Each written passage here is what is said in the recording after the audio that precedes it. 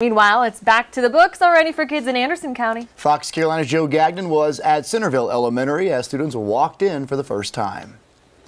Hey guys, it was a tremendous first day of school for all the students in Anderson County. We'd spent the morning at Centerville Elementary School for the very first day, and it was awesome. Have a wonderful first day, and we will come back on this afternoon with more announcements. That's the sound of the end of summer break.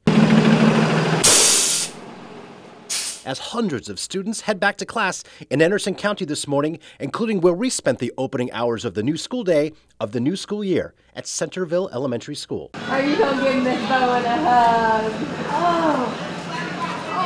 Many students got the warm welcome from their glowing principal, Jennifer Seymour. It just really does lighten up your day to see these children come in, not just on the first day of school, but every day. An assistant superintendent of District 5, Kyle Newton, says today is super important to hit the ground running. You everybody's, you know, kind of settling into that routine. You know, you're trying to figure out your bus routes, where to drop kids off. You know, some of them maybe meeting their teacher. It's always exciting. Centerville Elementary has been churning out quite the alumni as well. As a matter of fact, our fellow fearless Fox Carolina reporter Michelle Zhu attended this school when she was younger, and we got to see her former classroom and her teacher, Mrs. Gardner, who had nothing but great things to say about her former student. She was very quiet, she was sweet, very smart. She tried her best all the time. Just yeah. a really good student. She was awesome. It was a great start to what should be a great year for these hundreds of kids. In Anderson, Joe Gagnon, Fox Carolina News.